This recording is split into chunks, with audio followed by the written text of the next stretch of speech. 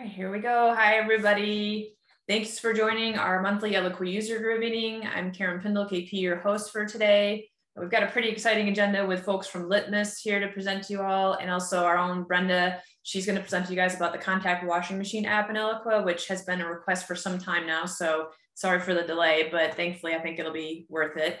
Um, let me share my screen and we'll get right. Oops, that's not what we're supposed to be. Let me fix that really quickly here. Um, if you're new to the Eloqua user group, thank you for coming. Thanks for choosing to spend some time with us. Either way, we appreciate you being here. But um, we do this every month, third Thursday of the month at the same time. We try to keep it consistent. It's always at uh, 11 a.m. Eastern time for uh, UK time. There's no perfect time to do this. I get complaints from people. It's too early on the West Coast. I'm like, well, it's it's not that early. It's 8 a.m., but I, early is all, I guess, in perspective. But we do our best to try to accommodate everybody. And every year I re-ask people if this is still a good time to meet. So who the heck am I? Why am I hosting this? So I work for Sojourn Solutions, one of Oracle's partners, Adobe's partners, Salesforce, et cetera. Um, I've been in the marketing space for nearly 20 years. Almost all of that time, so 17 years, has had something to do with Eloqua. I started out as an Eloqua user, worked for two different technology companies, and was their Eloqua admin.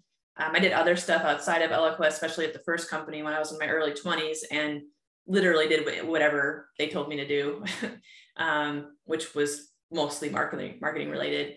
But anyways, fast forward, you know, I've been in the consulting side of the house, helping lots of like literally at this point hundreds of customers with not just Eloqua but other things. But my deepest expertise of all the tech um, that I try to know and keep up with is Eloqua. So that's what I think kind of helps me to be someone who can get this going for everybody, coordinate it, and know hopefully what I'm talking about most of the time. Uh, I'm from upstate New York. That's where these photos are. Well, the photo on the right is from a reservoir in upstate New York, about two hours north of New York City. The water there actually feeds New York City. It's pretty cool. There's a couple of man-made reservoirs that give water to people in New York City, clean water.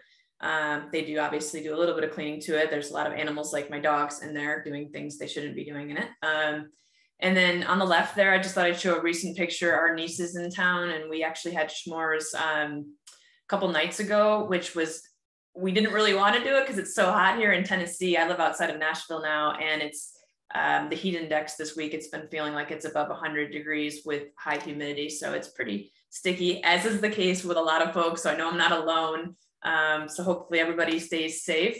And if you're ever in curious about like you guys hopefully all here love Eloqua, but if you're ever wondering like, well, is it the right fit for our organization? Um, every quarter I host a webinar. I realized I spelled marketing automation wrong down there. Automaton, um, automation comparison webinar, specifically comparing Eloqua, Marketo, HubSpot, and Salesforce Marketing Cloud. I will tell you guys, I think Eloqua is uh, the, in the top two for sure. Um, and if you want to know why, you could always join that webinar. It goes into the details.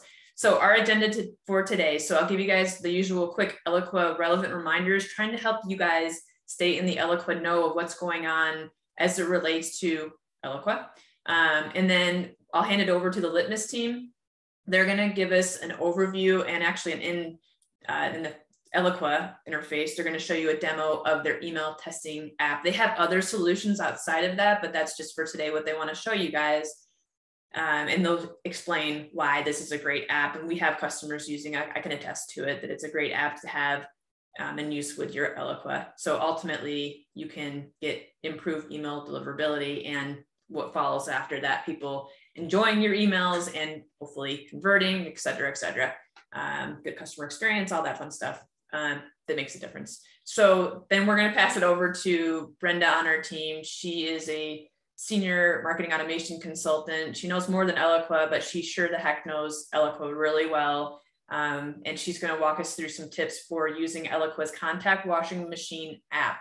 So that'll be our last topic. And of course, we'll have an open forum as time permits for questions. If you have any questions throughout this webinar, please um, just post them in the Q&A. That'd be great. We'll do our best to answer them directly in there or live. Um, if we don't get to your question, like I always share at the beginning of this call, I'll follow up. I'll make sure that we get you the answer. If we don't know the answer, we'll try to find out the answer and chase down who we need to. Sometimes that means um, we chase down somebody at Oracle. And I will send this recording, of course, to you all later today. So uh, just really quickly, other stuff in the world's happening. I try to do like, what's the month um, that people are celebrating things? Gay Pride Month, um, or I like the better term, not huge on pride, but more like LGBTQ awareness month. Why is June even the month for this? I didn't know until like a week ago when I looked this up.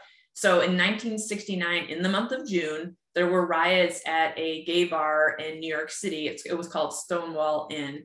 And this is just a picture from it. Um, unfortunately, the police were doing this pretty regularly back in the 60s. Um, obviously, gay people, transgender, et cetera, didn't have many rights then. So the police uh, basically went into with no good reason uh, this gay club and what ended up happening, like it says here, the people there were like, I think 200 or 300 people in the club. They retaliated and it led to six days of riots. Unfortunately, violence included on both sides. It wasn't just the police that were brutal, it was the, the gay people as well. But it ended up, I think the positive side of this was um, New York City has apologized for their police force's behavior. Um, it, I think that happened in the last decade that they did own that their police could have definitely handled the situation better.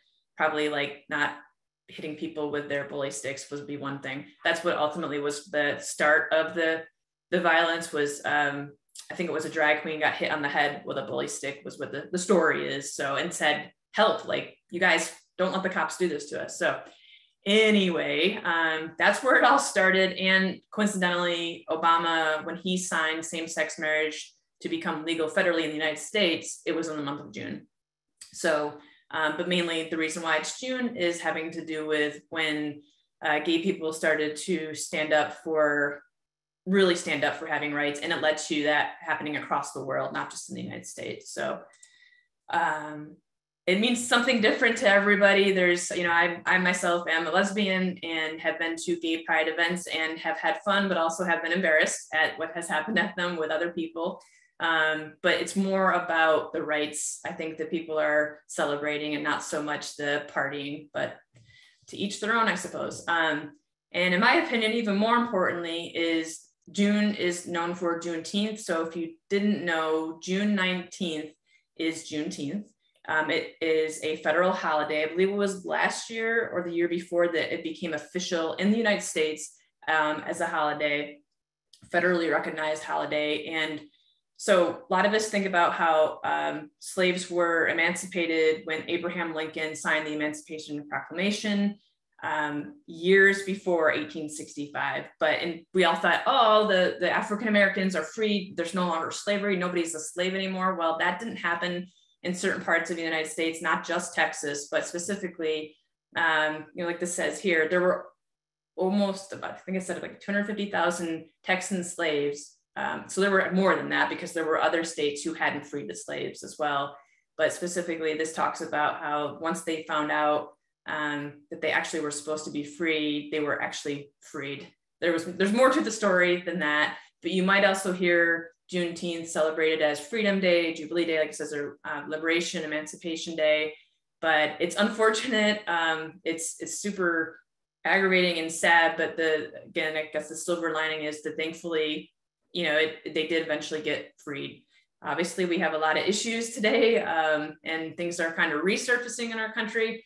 But that's why I think it's even more important to remember humans in general, whether you're LGBTQ, African American, you know, whatever, to just be respectful and kind to everybody. We're all humans.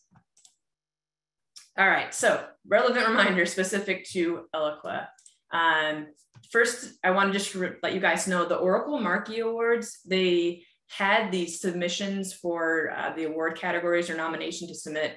The deadline was going to be tomorrow, but they've extended it to July 1st. This happens like every year, just about. They always extend it, um, I think almost every single year. So now you have until July 1st at 5 US Pacific time to submit. There's, um, I think, 11 categories for customers, and there's a couple categories for partners of Oracle's to submit.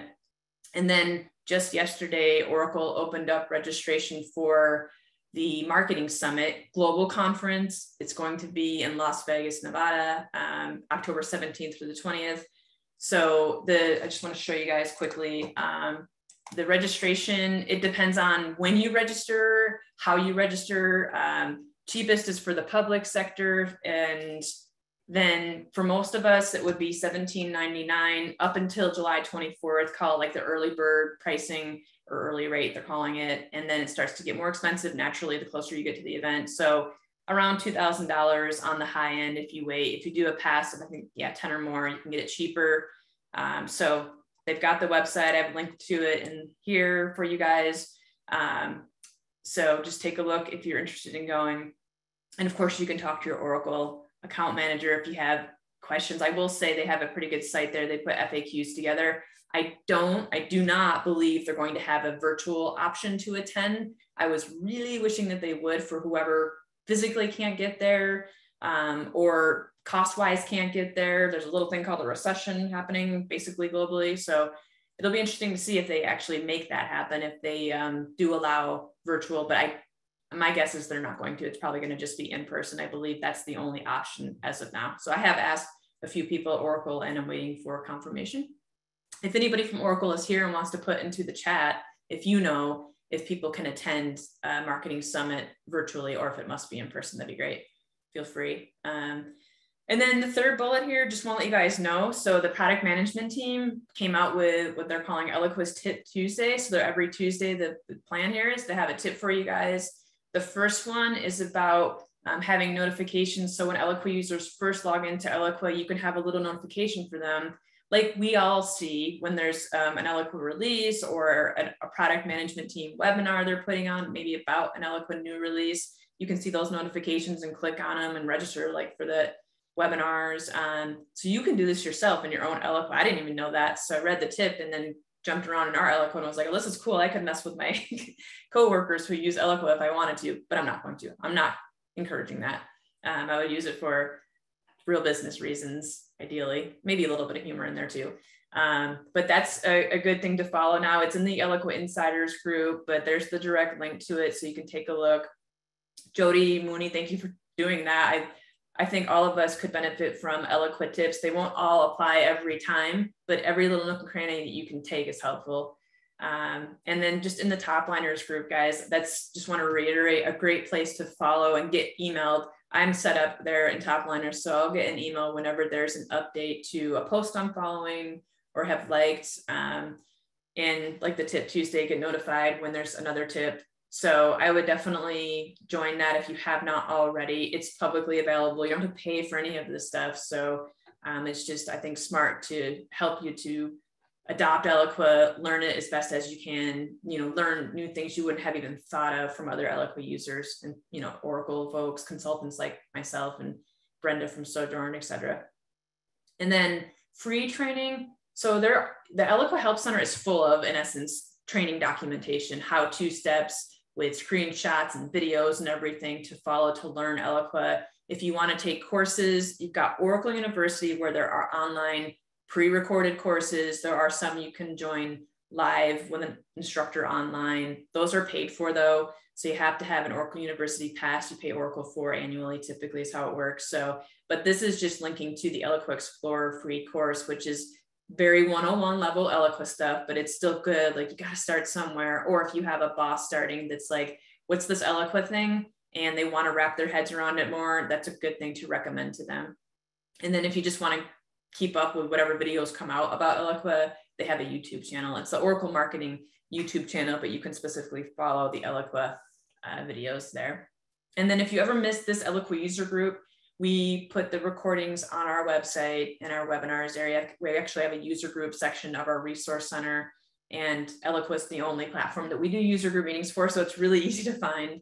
Um, so feel free to take a look or go back there. Or if you're ever wondering, like, did you ever cover X topic KP in the last couple of years of doing these Eloqua user group meetings? Just feel free to reach out to me and I'll um, let you know. And if we haven't and we can do it, we'll definitely get it on our, our schedule we're not months out. Like we're actually usually the next month we might have an agenda for, but um, I share that to say if there's something you want to hear us talk about on an Eloqua user group meeting, please let me know. I, I really encourage you to, to reach out. Almost every month after this, I'm not every month, um, usually the day of these Eloqua user group meetings, somebody reaches out with a question about a topic presented or something not related to anything we're going to discuss today, but related to Eloqua. So feel free. I'm happy to be a resource. And if, again, I don't know something, I'll either find it out for you or point you to where you can get the answer. Uh, or that sometimes is to somebody like at Oracle.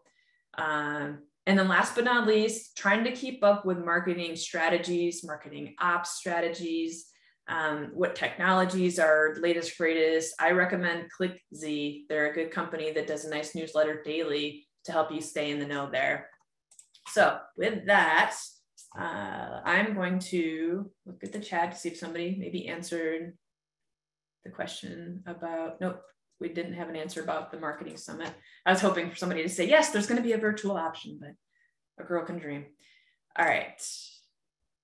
Trying to get my screen to fly away there. All right, at this point, I want to welcome back Sam, Jess, and Justin from Litmus. So if you've been coming to the Eloqua user group for a while, last July they were here and did a similar presentation, but of course, there's always something that changes a little bit. So we want to make sure you guys hear from Litmus at least once a year through this venue, Eloqua, because again, like I said, I'm a big fan of their email testing app. A lot of us, probably almost every single one of us, use Eloqua to send emails.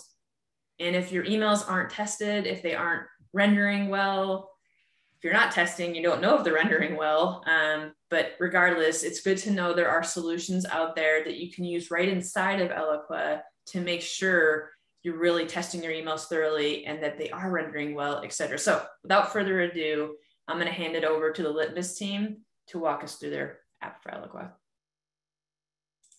All right, there we go. And thank you guys for joining today. Much appreciated. Awesome. Thanks for having us. Can everyone see my screen? Looks good. Thumbs Sam. up. Awesome. Sorry. no worries. No worries. Well, hi, everyone. Um, super happy to be here. I know we already got a little bit of an intro from Karen, so thank you. But um, I am Jess Materna. I'm the Director of Product Marketing here at Litmus. Um, I've been at Litmus for just about three and a half years or so, and I'm based out of the lovely Burlington, Vermont area. Um, Sam, do you want to give a quick intro and then Justin?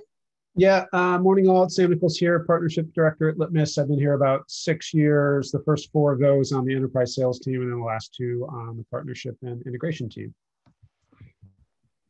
And hello, everyone. My name is Justin. I'm a solutions engineer here at Litmus. I just passed my six year mark two days ago. Um, and yeah, happy to be here, and we'll be showing you some cool stuff today. So I'm the newbie here at Litmus. They've both been here for six years. but um, yeah, so today we're going to go over a little bit about um, you know the power of email marketing and how Litmus can help really you get the best ROI out of your email marketing and cover the importance of email testing, why that's necessary.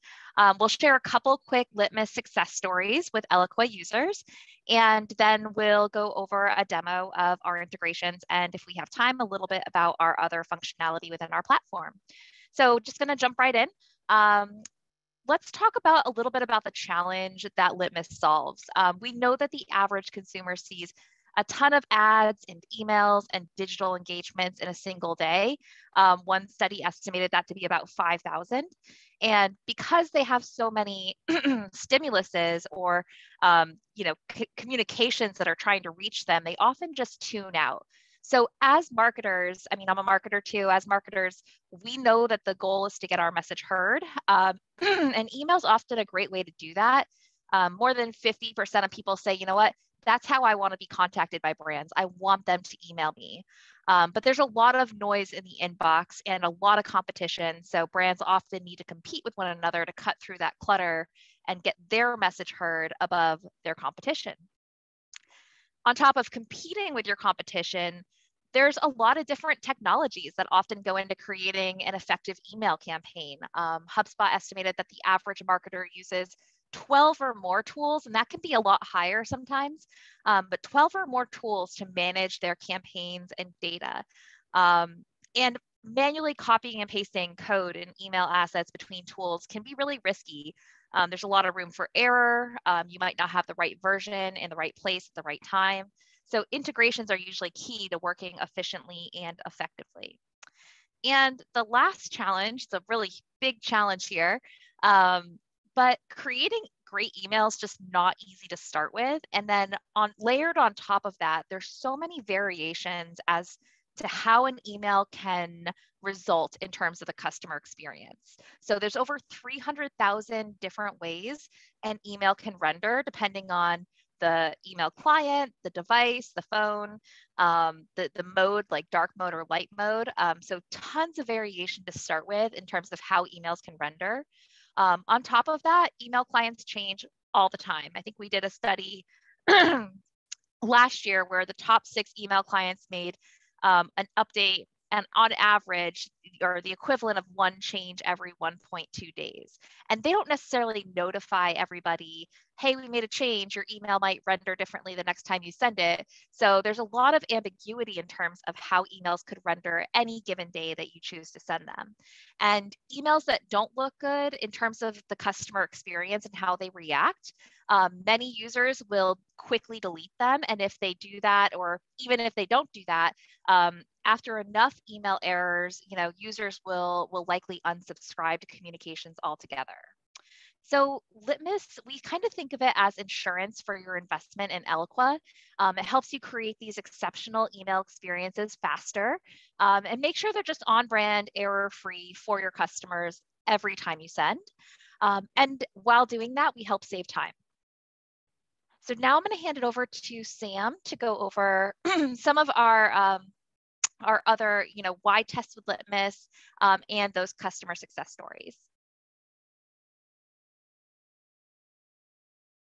Sorry, was muted there. Thanks, Jess. Um, just sort of where we sit in the sort of email testing ecosystem. I'll just highlight a few areas where uh, we succeed relative to competition. Um, really, the breadth and depth of the clients and devices that you can test across in Litmus. I think we're actually up to around 120 clients uh, and devices. So you can ensure that your emails are pixel perfect on the clients and devices where your um, users are going to be opening them.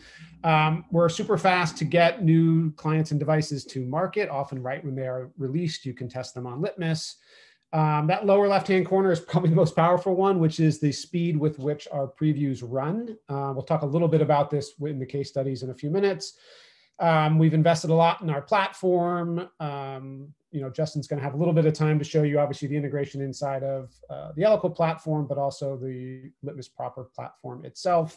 Um, obviously, we take privacy and security very, very seriously. Um, and then Litmus is known as a leader in email marketing from best practices, industry trends. Some of you on this call are probably um, get our weekly and monthly newsletter. So that's something, um, you know, we, we want to be out in front of the market. We want to be uh, helping all of you solve email marketing and testing challenges.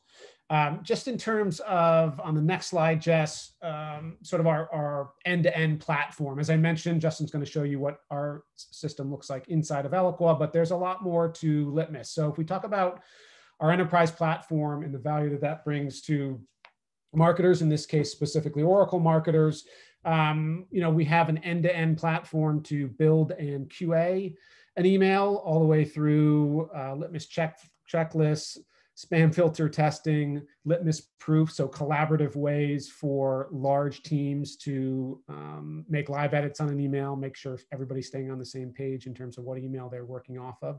So all these historical log jams in the email creation process, we're trying to free up and create some efficiencies across. We're obviously not an ESP. We don't send your emails out externally.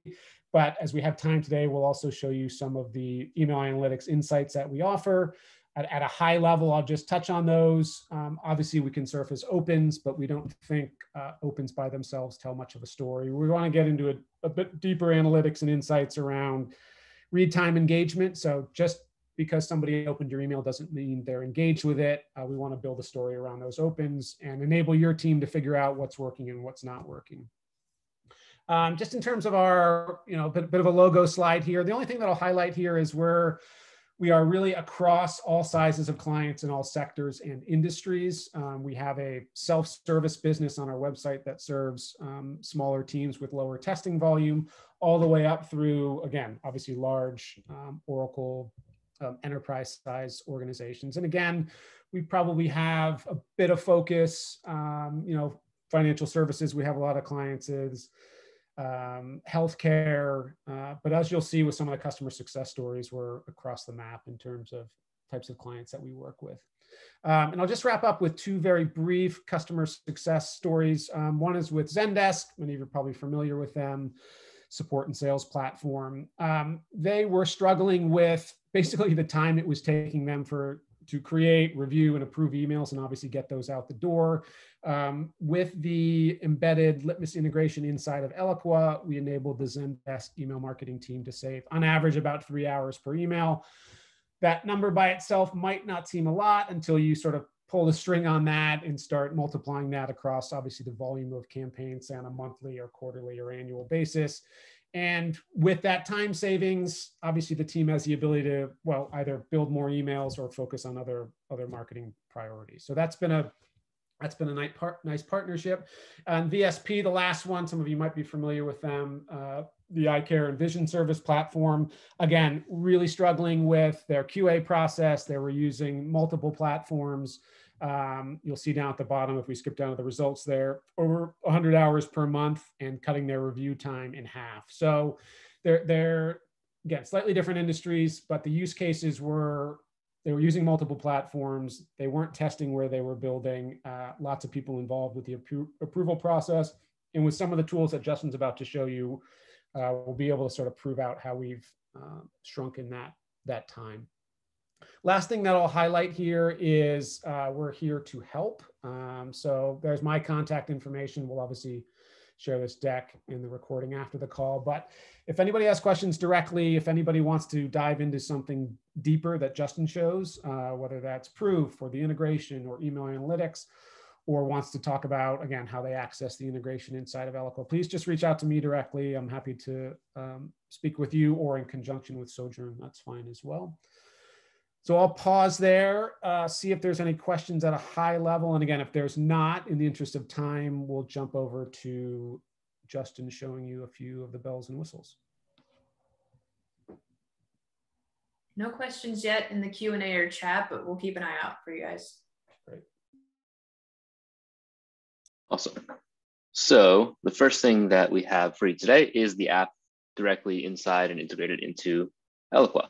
Um, pretty simple as you're building an email in Eloqua, or as anyone's building an email in Eloqua, we have a cloud app. Uh, if you open the cloud app drawer, inside of that, you'll see um, we have a few instances, uh, but you'll be able to essentially add Litmus to your instance of Eloqua, where you can run email previews directly on top of the email that you're building. Now, as Sam mentioned before, there's a lot of email previews that you could choose from. There's over 120 currently. That's always fluctuating depending on what's available, what's new, what gets deprecated. Um, but the selection that you'll have with Litmus is always going to be um, current, uh, especially with Apple Mail and iOS. I bring that up specifically because Apple is a little bit more aggressive about rolling out their updates more so than other providers. So you can be sure that when you have a subscriber base that's using any Apple Mail or iOS devices, that they're going to be using the latest version, uh, or at least anyone is going that has those devices is going to get upgraded within a week or so, most likely. So you want to be testing on the latest versions of that. And we're always first to market with all of those. So you'll have whatever you need to choose from, whatever you choose in your account using that uh, choose clients button.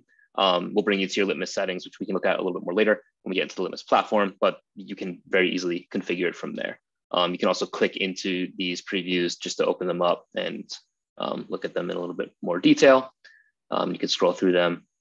So that is you know something that we see as sam was mentioning just, just save a lot of time if if you don't have a, a, solution for something like this you're probably finding your colleague or a stakeholder that's using an iphone the other one's using an android and someone's using outlook and someone's using gmail or whatnot um, when we get into analytics later i'll talk about how you might discern what actually matters to your organization but um, that's that's the uh,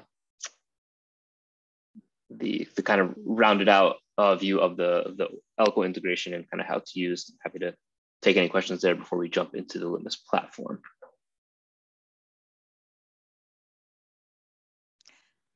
Uh, Justin, did we want to quickly show the extension as well? Oh, we can do that. Um, okay, so, cool.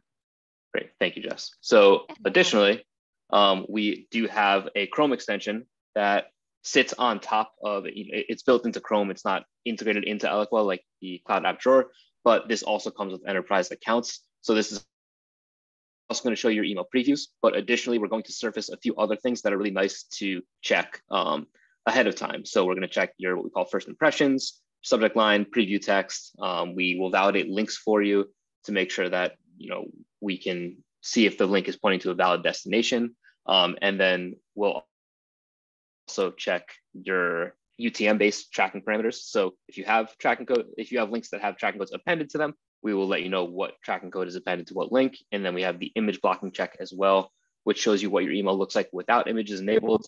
As we can see here, you're going to want to make sure you know what your alt text is for those images. If you know it's there to begin with and it's appropriately descriptive of the image it's replacing. This has uh, several you know things relevant here. Accessibility is one thing that comes to mind. Additionally, if someone, especially Outlook users, uh, many people may initially at least ex experience an email without images loaded, and it's your first opportunity as a marketer um, to get their attention and to entice them to read more into an email. And if they're going through a preview pane in an email in Outlook or Gmail or wherever, where the images don't come up immediately, your alt text is the your best bet of getting someone to engage. With this is this is more important, I think, than people give it credit for. Um, yeah, I, I totally agree. And you can all see how in my example email here, I have a lot of work to do. If I was actually going to send this email, I have a ton of work to do, but at least with extension, I can catch the things I need to actually work on. So, right. Um, yeah. And then we also do the loading speed. So we will download your images and just make sure that there's no issues with them, that they're loading in an appropriate amount of time um, and that nothing is not loading. Um, so you're able to check all these things before moving on into later stages of the workflow which bubbles up into greater efficiencies because the, the less you have to come back later and change things, uh, you know, uh, the better it's going to be, the smoother your entire process is going to be just by design. So this is tends to be really helpful uh, in the building phase. Um, and then from there, we can, once again, jump into the Litmus platform. Um, but I am happy to, once again, stop for any thoughts, questions, anything. Sounds like we're good. Um, if anything does come up, please feel, you know, feel free to interrupt or just if anything comes into the chat, we can okay, stop and take stock. I'm going to go through this pretty high level and pretty quickly, just in the interest of time and being conscious of other presenter. Um, so we've just jumped over into the Litmus platform. Now, for those of you that are unfamiliar, just very quickly, this is a, a the home screen. It's basically a summary of any projects you have going on in Litmus at any given time. And when I talk about projects, usually always just talking about emails. You can see I have a bunch of emails that I've brought in here. Um, when I mouse over the emails, the various features will become uh, available for me to click on. So we're going to be going through most of these today. But how does this actually connect to Eloqua? Um, well, we have this button here that says send in your email. So one of the primary ways that, that someone working in Eloqua would bring their email into Litmus to leverage the rest of our features is by using a test email address. And now importantly for Eloqua use cases, this does not change, it's static. So you can set this up as a user profile in Eloqua. You do that the first time and then you're good to go from that point on. You can keep sending test emails to that. It'll land in your inbox. Um, you can also create folders. The folders also have their own um, addresses that you can send to. So if you want to set those up as well, that's fine. It just might make it easier to um, auto sort projects and when you send them in or keep things you know, in a folder if it's a, a campaign that is you know a multi multi part campaign that needs to be kept together. Um, there's a few other advantages there, but the, the main concept here being in most cases you're going to want to just send a test email into litmus the same way that you're sending a test email to yourself or to colleagues or stakeholders. Um, you send it into us and we are able to do several things for you. So we'll go through those now. Um, I'm gonna, I just sent this in earlier. I'm gonna skip over our builder tool. Um, this is, you know, for the most case, we assume that most people are going to be working in Eloqua and building Eloqua, but just for what it's worth, we do have a full-fledged building tool. I'm not to go through this now, but um, just very briefly, I do want to note that we do have a sync feature that connects to Eloqua. So if someone did want to build in Litmus who's using Eloqua as their email service provider, um, you're still able to leverage those tools together pretty seamlessly. Um, but I'll move on from there to get into, I think, the main feature that we want to start with, which is our previews and QA tool. Uh, Previews and QA is a more robust view of what we just saw in the Chrome extension inside Eloqua.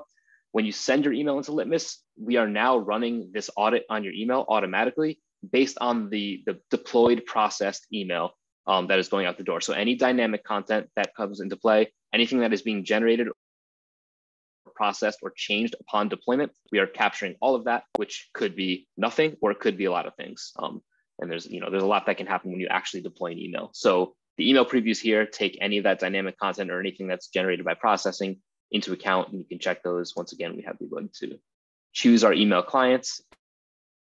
And with our analytics that we'll see later, we can help you figure out which of these you want to select. Uh, but there are a lot to choose from between mobile, desktop, and webmail um, clients. So whatever I've chosen show up here, and this is also what's going to show up in the Eloqua app when you're using the integration. Um, but beyond the previews, again, we're checking several other things. So we already went through some of these, so I'm not going to spend too much time, but keep in mind that this is checking it from a test email, meaning anything that needs to be in place has been put in place. And we are now giving you a snapshot of what your subscribers are, are, are going to see. Um, and it's, you know, just toward that kind of absolute peace of mind and, then and maximizing your investment in the, your email program and your insurance policy in the email altogether. Um, we do an accessibility audit, which is not something that you would get in the Chrome extension that we saw earlier or the Eloqua app. This is really nice. It just helps point out any areas of your code that you might be able to improve through the lens of accessibility, ADA standards, WCAG standards. There's no governing um, accessibility compliance for email specifically today. Although accessibility as a trend is growing, it aligns with best practices for email anyway. It's good to make sure your emails are as accessible as possible. It's, it can only be positive and improve your engagement across the board. Um, we do a screen reader preview as well. You can listen to it read back to you via that screen reader, which uh, can be pretty enlightening. Um, once again, we'll validate links for you. We'll validate tracking links for you. We'll show you without the images enabled. We'll do the load speed check. Uh, but another thing that you get by sending it into Litmus is the spam test. So unless you send it to us, we're not going to be able to check uh, against you know your domain and the sending IP address. So this is another benefit to also sending it into Litmus and grabbing this is that we'll be able to run your domain and, and, and IP through authentication, DKIM, DMARC, SPF. Um, we'll let you know if your IP or your domain are appearing on any block lists. We partner with a tool in the back end that checks uh, against over 100 active different block listing organizations. Um, so all in all, as you're sending out campaigns um, consistently, it's a good thing to keep uh, your keep your eye on, especially as with deliverability, which is a fuzzy science to begin with, uh, you want to make sure you're catching anything that might change um, due to the fluid nature of just how spam algorithms work and how deliverability works as a as an environment. Um, so all in all, the high level tasting note here, it, it's an automated QA QC for your email um, that is here waiting for you just by sending a test email. So there's a lot of value here. It saves a lot of time. Also standardizes your email QA process if you have not done that. If things are happening haphazardly. It's a really nice way to just have a nice checklist of things to go through to to take uh, kind of all the the thought and doubt out of what that process should be, uh, and it standardizes it against best practices for you. Uh, we can move on unless yeah, yeah, Just a heads up, probably five more minutes or so. I just okay. Brenda has time, so yeah, yeah. showing proof. That'd be great. Sure, we'll speed through the next two things. Proof is a tool to facilitate and consolidate any of the feedback and approvals that are going in on in your email program. Um, oftentimes we see this as the biggest bottleneck in email workflows to begin with um, for uh, many reasons, but um, generally it's due to the fact that you're getting feedback through multiple channels from multiple stakeholders and it's on one or two people to manage that. And it's uh, even more so than building in QA, this, this is what stops emails from getting out the door. So we created a nice interface to be able to click, comment on whatever you want to comment on. You can highlight copy as well and quote that. So you're not guessing what someone might be referring to. Um, and this can all be commented on and uh, um, you know, you can have a dialogue right here next to the version of your email, but you can also share this out via a link and anyone can access this. So external stakeholders, other departments, people that don't have access to Litmus, and that helps consolidate the whole process. Anyone that accesses your account via that link is added as a free and unlimited user called a proof reviewer, where they only get access to the proof, but you're able to in include them in that feedback process um, without having to fragment any of those streams of feedback, creating that bottleneck. Uh, a good example I like to use is like a legal team. You're not going to want to invite a legal team to have a, a, paid license on your Litmus account, but they might need to approve a footer of an email. Well, instead of sending them a separate email and having them approve it through there and putting the approval somewhere else or in a project management tool, it can all happen in the same place. Um, so that tends to be a, a, huge time saver, and it's one of the one of our customers' favorite parts of the platform. Um, and then I we'll move on to analytics very quickly, just to show you the, the high level things that we, um, we are looking at here. I'm going to jump into an analytics report very quickly. But we're looking at generally two things, um, and we generally do not overlap with what you get you'd be getting from something like Eloqua or any other ESP analytics. We're meant to be used alongside the ESP, not as replacement. Um, we're going to generally augment what you're already getting. Um, from a high level, we do this by looking at the engagement and read time. So we qualify opens for you. Not only is an email being opened, but is that open contributing to the success of your email program? If someone's just scrolling through their preview pane, they're going to trigger an open because um, it's based on pixel tracking, just like most ESPs are as well. But that open is not, again, contributing, it's contributing to a higher open rate, but a lower ROI per campaign per subscriber. So you want to understand when someone opens the email, are they actually engaged? And can I start to build segments out based on that engagement, which we help you do?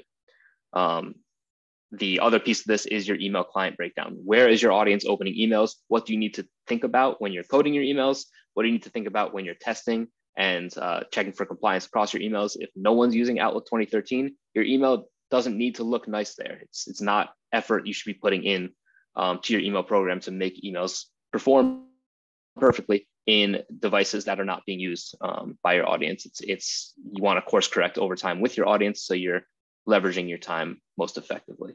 Uh, we do that at the high level, and then we also do that at the individual level. So we can tell you person A, open the email on their iPhone for four seconds at nine in the morning, and later that day they open it again on Outlook on their desktop for 10 seconds. Um, and I'll stop there, but there's a lot of opportunity for building out more uh, specific and personalized segmentation when it comes to getting that individual data. So I know that was a lot to take in, but I'm happy to answer any questions we're going to jump to the next topic because of time, but this has been a really good demonstration and just information for everybody. Um, if you guys have any questions for the Litmus team, please pop them in the Q&A, email me later, whatever you want to do, and I'll connect you with these guys. Thank you, Justin, Jess, Sam. Really appreciate you guys walking us through a couple of different things there. Um, so you guys can see there's a couple different ways you can use their app right inside of Eloqua as an extension on Chrome, the Litmus app itself. There's benefits to each one of them. Um, my opinion is if you're going to do something, do it right, do it well. You know, we all pretty much here do email marketing, and their app to me is a no brainer. If you're, again, it's going to help you to do it really well. Can you do it without their app? Technically, yes. Are you going to have as effective uh, email performance? I can probably bet all the money in my bank accounts that you won't. Um, so I would encourage you to look at their app. One of the options here, we have a lot of customers that prefer to use it right there inside of Eloqua, get a good feel for it, get some value, and then get the, I guess, you know, the justification to get the actual Litmus standalone app. Well, they'll still use the app inside Eloqua. So anyways, I'm going to stop talking and pass it over to Brenda so she can walk us through the contact washing machine app tips that she has for you guys today. So Brenda, the floor is yours. Great, thank you. Uh, so for those of you who do not know me, my name is Brenda Barrelle. Um, I am a senior consultant with Sojourn. And today I would like to walk everyone through the Oracle Contact Washing Machine app and give a quick demo of some simple use cases. So what the app actually does uh, is it enables cleansing of contact fields. You're able to define one or more of these fields as inputs, and then you can run what's called actions on them, which I'll talk about in a minute, uh, such as trim, concatenate, adjust the case to proper or lowercase. You can even perform lookups to populate fields. And then the data can be mapped back to the same field, or you can actually map it back to a different field. So the benefits here are, is obviously keeping your data clean. You can have this, and I'm going to show you this in the demo. Um, it works on both campaign canvas and program canvas. So you can put it in line um, to help the effectiveness of lead creation, lead scoring, uh, certainly will help with segmentation and keeping data fields clean, as well as great, I'll show you some tips that um, are great use for personalization if you do a lot of field merging in your emails as well. Um, the fact that this can be used on program canvas is exceptionally nifty because that means you can use this on contacts and CDO fields. So you have the ability to actually go in and, and cleanse existing CDO data as well.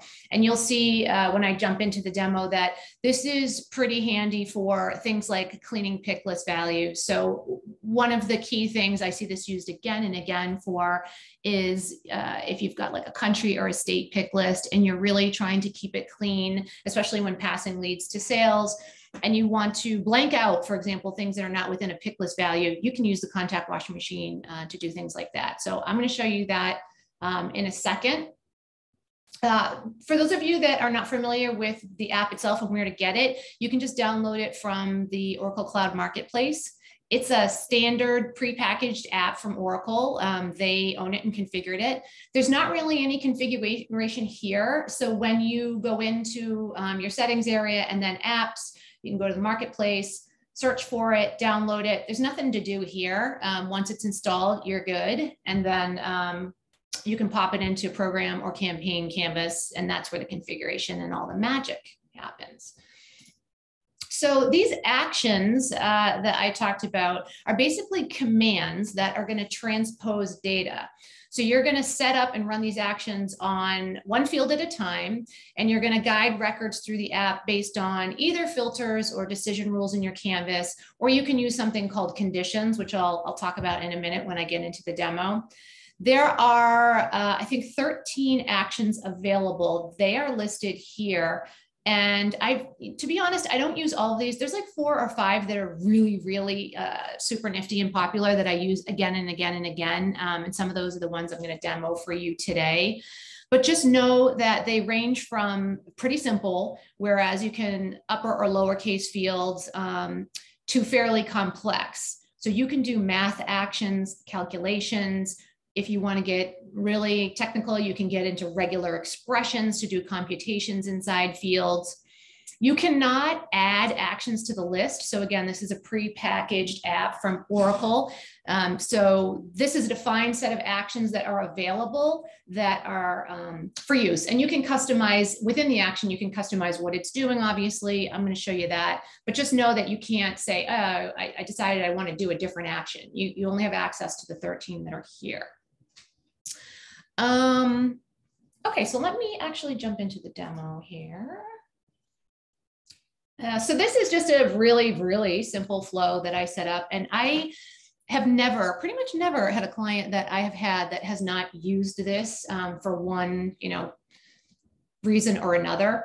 Like I said, it's available on program and campaign canvas. And typically the way I use it is I will put it in line with uh, a flow and control the segment that's coming in. So once you download it, you'll see it's available under the action. So you can just, uh, here, contact washing machine, you would drag it in like any other step into your flow. This can go inside an integration, lead management flow.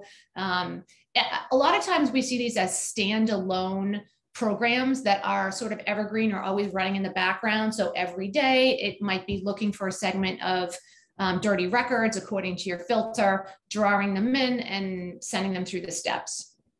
And in this particular case, I just have a wait step at the month, uh, at the end of the, uh, for a month at the end, so that I can QC the records that are going through. Um, that's not necessarily obviously needed when you have this inline live, but for the purposes of the demo, that's why that step is there. Another thing to note is that you can have um, multiple nodules or you can do uh, multiple steps within one nodule. So I figured I would show you both ways. That's why I have two steps here. A lot of clients find it easier to just do one action per step. So you could have a step here that's going to set fields to blank, another step here, you know, that might do proper case or a math function, or you can do everything inside one step. And I'm, I'm going to show you both ways. It's just really ease of use and your preference. So we're going to pop this open. It has the normal scheduling and routing. So if you if you get an error and you want to route this to an error step, that's all possible. You can also schedule it to run. Um, if we click on the configuration, this is really where the real magic happens. So you'll be able to give the step a name. Uh, in this particular one, I am showing you the set to blank action. So out of that 13 set of actions we referred to earlier on the slide, I selected set to blank. It's going to ask you to pick a source field. So this is just um, one of the available fields in your contact list. I happen to be using um, the contact washing machine here. You can also do it on CDOs, in which case you would, you know, see your CDO list of fields here.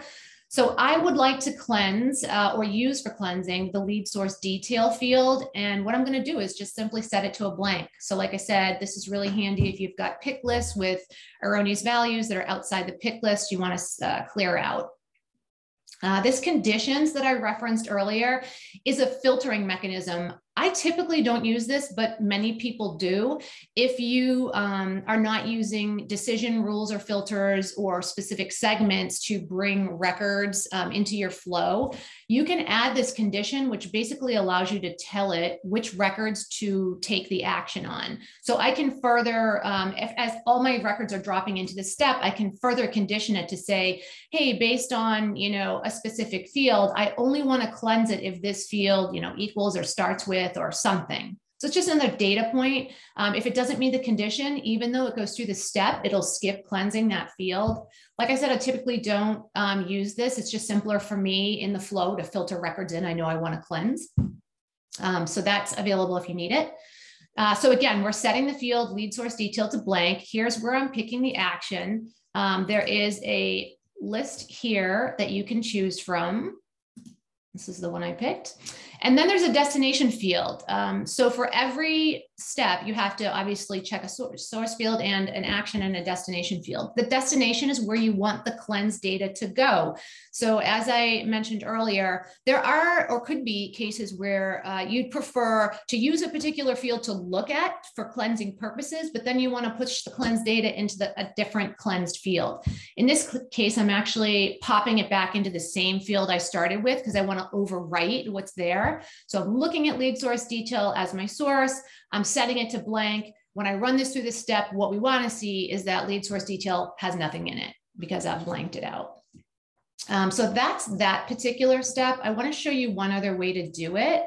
I have a couple other examples here. Um, this one is actually doing two actions in one step. So as I said, um, you can do multiple actions in one step if that's your preference. So you'll see in step one here, I'm doing proper case here's, um, I'll go through this in a minute, but if I scroll down, I've added a second step that's going to actually do something completely different. It's going to do um, what's called compose or concatenate data.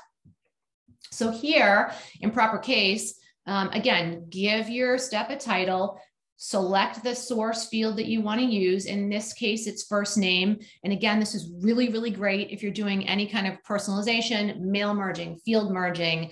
Um, you want to just cleanse leads before they go to sales. This is basically making sure uh, the first name in this particular case, you can do it on last name, you can do it on country, company, anything, um, has a uppercase for the first case, um, for the first letter. So I'm cleansing first name. I've selected as my action from the list proper case. There's no, you know, configuration. It knows how to do that. And I'm going to put the cleanse data right back into the same field first name because I'm saying, you know, for example, if I want to use that uh, in an email field merge. The next thing I'm doing, so it's going to move through the record through that step. There's no conditions here. On the same record, it's then going to go into a completely separate action. This one is called compose super super handy. My favorite um, action of all of them. It allows you to select your source field again. So i'm starting with um, like the standard description field which a lot of people just it's your large text comments field that you you know collect on a form and a lot of people pass this on the lead to sales. So it allows you to concatenate data into the field. And a lot of times clients will say to me well i want to add like a hard coded description um, and then a couple of additional fields in that comments field. So this is how you do it. You can select the compose action. You can type in text. So where it says, this is my description, this is just text I typed in. Um, and then it will allow me to, there's this IntelliSense um, feature where it allows you to actually, if I hit uh, control and space, it allows you to scroll through all of your fields and select the one that you um, want to pop in here. So you don't have to like memorize any HTML names or things like that. So you can basically, you know, cut and paste multiple different fields in here and concatenate them all. So what this one is going to actually do is concatenate the, the frontline text that I put in. This is my description with the full name with this source field name. One other, um, I'll try to be quick here because I want to show you the result. One other cool feature is you can test. So there's a testing function um, here. Let me jump back into this one. And this function allows you to, without touching data in the database, you can actually select any record by hitting this plus button. You can look up any email address or first name or last name in the database, select that record and say run test. And it actually says, it'll tell you if your conditions met, runs the action, shows you the input and the output value here without actually touching the data. So this is sort of a really great way of um, testing to make sure everything works. And then quickly, I just want to show you um, what's going on here with the cleanse data. So I created a little view. Um, here's my first name. Remember, we did proper case. So we capitalized my first name. We blanked out the lead source detail field.